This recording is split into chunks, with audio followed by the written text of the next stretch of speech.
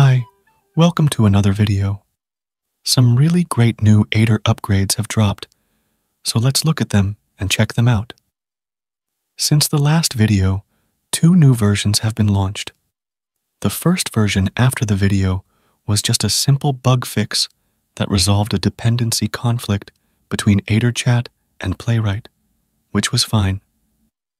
But the latest major version is the one that's really good. First of all, the key thing it added is a new mode in the tool.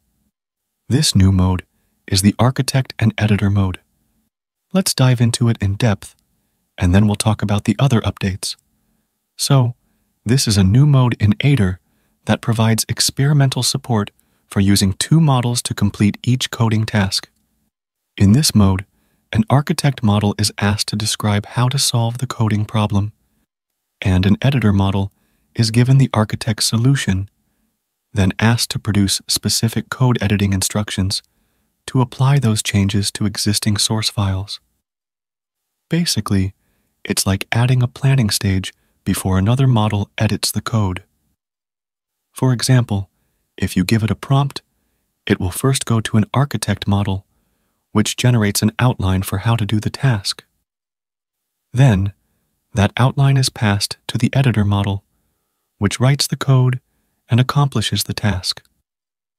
However, it seems this isn't agentic. By agentic, I mean that once the architect provides the outline to the editor, the architect leaves the chat and doesn't review the code or anything like that. So it's just a one way process. Anyway, if we look at the performance it brings to the table, you can see they've shared benchmarks using different models as the architect and different models as the editor. The previous state of the art was around 80, as you can see on this line. If we look above this line, the best combination seems to be OpenAI's O1 combined with DeepSeek, which is great. They score about 85%. Although this result comes from using the whole edit format, not the diff edit format, if you're wondering what those are, in the diff edit format, the LLM only returns the edited code with the lines to be changed, while in the whole edit format, it returns the entire page of code, which generally uses more tokens. Anyway, in this mode, O1 Preview and DeepSeek lead, followed by O1 and Claude 3.5 Sonnet. This combination scores about 83% in the diff edit format, so it's a solid option for sure. Additionally, DeepSeek and GPT-4o score about 80.5%, which is also good. Generally, you get better results with an architect model, as seen in these benchmarks. Although this consumes more tokens and can be quite costly, which is an issue for sure. Typically, you get great results with just O1 but sometimes other models can improve things slightly. If we look at what they say about these combinations, you'll see they mention that pairing O1 Preview as architect with DeepSeek as editor sets a state of the art benchmark, but it only works that way in the whole edit format. Both steps are quite slow, so it's probably not practical for interactive use with Aider. They also say that pairing OpenAI's O1 preview with Anthropic's Sonnet as the editor produces the second best result. This is a practical configuration for users who can work with both providers. So, this might be a good approach for people to actually use. They also mention that pairing many models with themselves in the architect editor configuration can provide significant benefits. Sonnet GPT-4o, and GPT-4o Mini all scored higher when used as an architect-editor pair. They say DeepSeek is surprisingly effective as an editor model. It seems remarkably capable of turning proposed coding solutions into updated versions of source files. Using the efficient diff editing format, DeepSeek helps all architect models except Sonnet. So that's cool. I would have liked to see a cost comparison, but there's nothing about that. Anyway, We'll try it out and see for ourselves. Now, let me also tell you about the other features in this release. It's added new O1 preview and O1 mini shortcuts. There's also a new setting for completion menu colors. There's a new voice format switch to send voice audio as WAV, MP3, or WebM. In addition, there's support for the new Gemini 002 models. It will now follow HTTP redirects when scraping URLs. There are also some model setting changes to make it more compatible with LiteLLM. The clipboard option has been renamed to Paste. There's also support for LiteLLM's extra underscore body parameter, as well as support for cursor shapes when in Vim mode. On top of that, there are numerous bug fixes. So, all that's good. Now that's super exciting. So, let's dive in and check everything out. First of all, make sure you've installed Aider's latest development version. The Architect mode is currently only available in the development variant. To do that, just run the command you'll find on the optional steps page of Aider, copy it, and run it in your terminal, and the Aider development version will be installed. Once that's done, we can start using it. Using it is a little complex to understand. So, let me explain. Generally, you use Aider by entering a model along with other operators you want to use. Now, there's a new option called Architect. If you add the Architect operator, Aider will automatically set the model you selected as the architect and choose an editor model based on the architect model. They have a bunch of built-in defaults they use to select the editor model, but you can override this by adding another operator called editor model and specifying the model you want to use.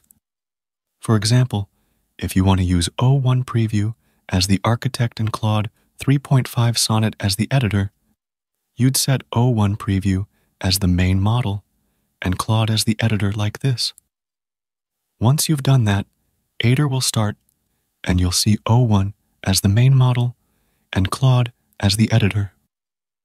Let's ask it to create a simple to-do app. And as you can see, it's doing that now. Let's wait a bit.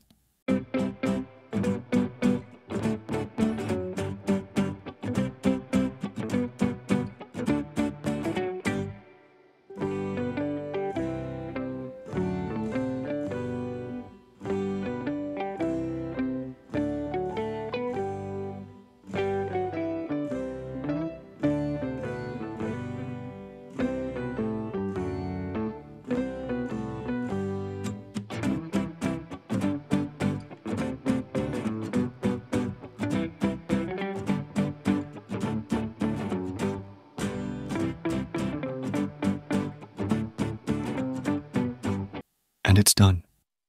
So, you can see here, the architect defined how to do it, and the editor model completed the task, which is great. Let's run it and check. Hmm, this looks pretty good. It's nothing extraordinary, but it's certainly better than a single prompt generation. Although, this will obviously cost more than a single prompt. Personally, I won't be using this option much because it's expensive, but you can surely give it a go. I don't find it very useful. Instead, I prefer going back and forth manually, but it definitely has its strengths. Also, if you're in simple mode and want to switch to architect mode for just one prompt, you can do that too by using the slash architect command in the simple chat interface. For example, Let's start Aider with Claude. Now, here you can see it started in simple mode. If we want to switch to architect mode for just one prompt without converting the whole chat, we just write slash architect, enter the prompt, and it'll use the architect mode for that prompt. So, that's good too. Let's ask it to make a Minesweeper game. You can see it's doing that now.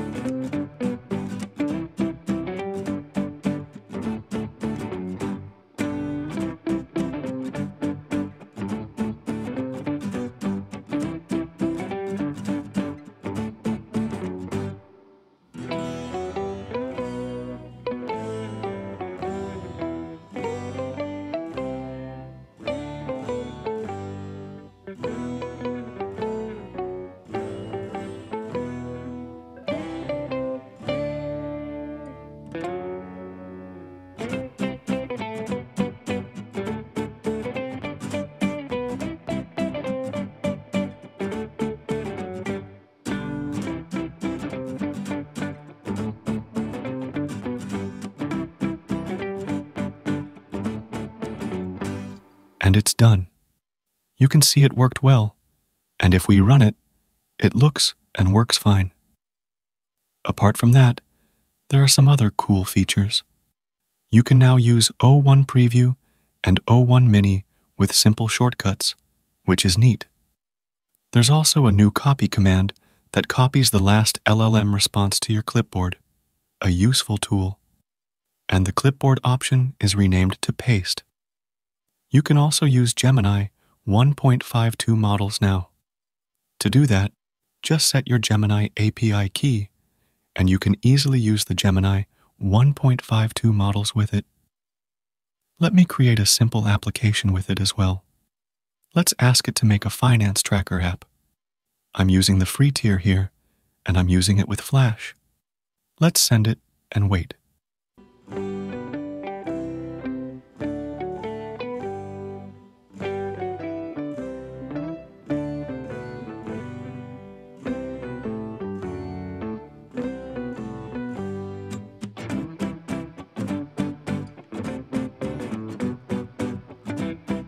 Now it's done. Let's run it. And you can see it works pretty well. So, that's cool too. I mean, what more could we ask for? It works. Plus, it's free, so that's awesome. These are the major upgrades. Aider was already good, and now it's even better with these new modes. Aider is definitely moving in a good direction. Overall, it's pretty cool. Anyway, let me know your thoughts in the comments. If you liked this video, consider donating to my channel through the Super Thanks option below. Or you can also consider becoming a member by clicking the Join button. Also, give this video a thumbs up and subscribe to my channel. I'll see you in the next video. Till then, bye.